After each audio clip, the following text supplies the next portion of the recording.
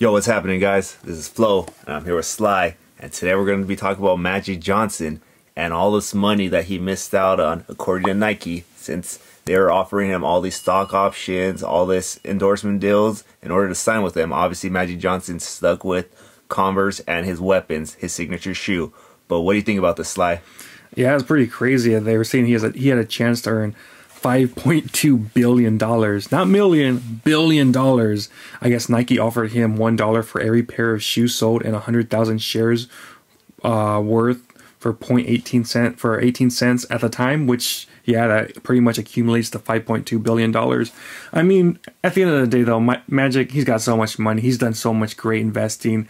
Uh, he's opened up movie theaters, uh, food chains, all this and that. So I mean, I guess you gotta miss on some things, uh, you know. But I, like I said, he probably made millions from Converse. But like I said, that would have been pretty crazy. Five point two billion dollars. That's a lot of money.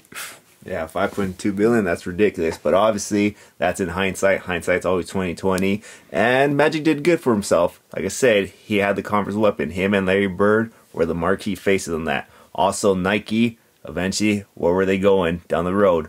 Jordan. Jordan was going to be the main guy. Did Magic really want to be in a shadow? You know how competitive Magic mm-hmm. is with Jordan. I don't think he would have liked that. So I think I think he did the right thing by staying put. Um, I'm not sure exactly what year this was offered to him, but uh, it worked out for him. Regardless, I don't think he's going to care about a few.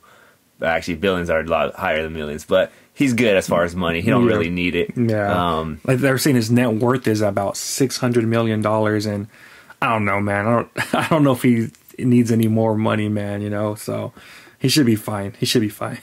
yeah, like I said, I think for him it's just more the recognition and like I said, Converse.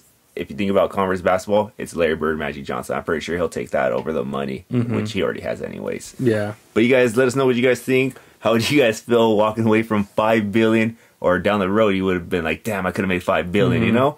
But like, comment, subscribe, hit that notification bell. We'll talk to you all next time. Peace.